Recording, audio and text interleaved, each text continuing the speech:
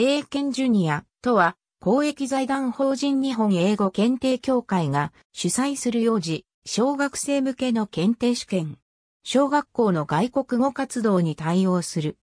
2013年度は約8万人が受験している。2015年4月に改名される前は、児童英検という名称で実施されていた。受験方法は、ペーパー版、オンライン版、学校版の3つがある。ペーパー版は、公開会場はなく、グループ会場でのみ実施される。オンライン版は、個人やグループ単位で、いつでも申し込み、受験が可能である。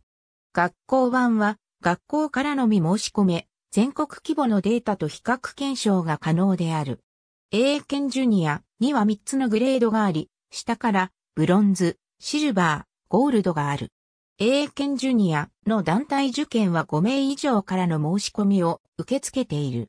希望の団体はグループ登録申請を提出し、実施校として登録される必要がある。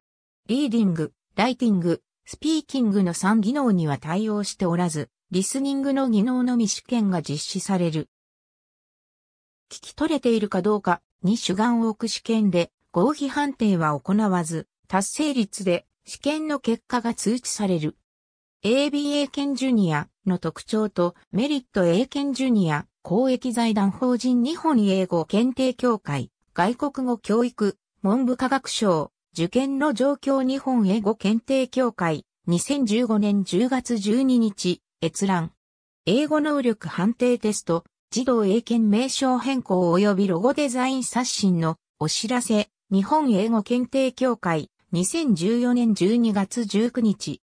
3つのグレードと目安日本英語検定協会2015年10月12日閲覧。